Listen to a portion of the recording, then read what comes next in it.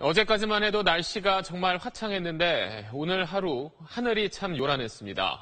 곳곳에 천둥과 번개가 치면서 우박이 떨어지기도 했고 중국에서는 때이른 미세먼지도 날아왔습니다. 안영인 기자입니다.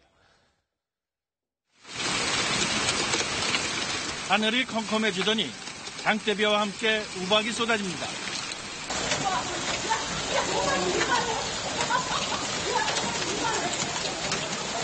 쏟아지는 우박에 파란 지붕이 금세 하얗게 변합니다. 고속도로에선 차량이 갓길에 멈췄습니다.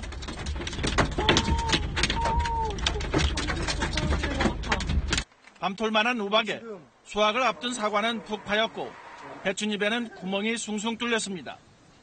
경기와 강원, 충북과 경북 지역 곳곳에 우박이 왔습니다. 한랭 전선상에서 따뜻한 공기와 북쪽에서 내려온 차고 건조한 공기가 강하게 충돌하면서 대기가 불안정해져 요란한 비와 함께 우박이 내렸습니다. 중국발 미세먼지는 전국을 뒤덮었습니다.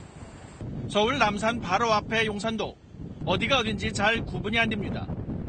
한강은 아예 보이지도 않습니다. 오늘 서울의 미세먼지 농도는 세제곱미터당 최고 139 마이크로그램까지 올라갔고 충남은 최고 303을 기록했습니다. 연평균보다 최고 6배 이상 높은 수치입니다. 한반도 북쪽에는 저기압, 남쪽에는 고기압이 위치하면서 만들어진 강한 서풍을 타고 중국발 미세먼지가 들어온 겁니다. 내일은 미세먼지가 물러가면서 맑은 하늘을 되찾을 전망입니다. 하지만 아침 기온은 오늘보다 5도 정도 떨어져 쌀쌀할 것으로 기상청은 내다봤습니다. SBS 안영입니다.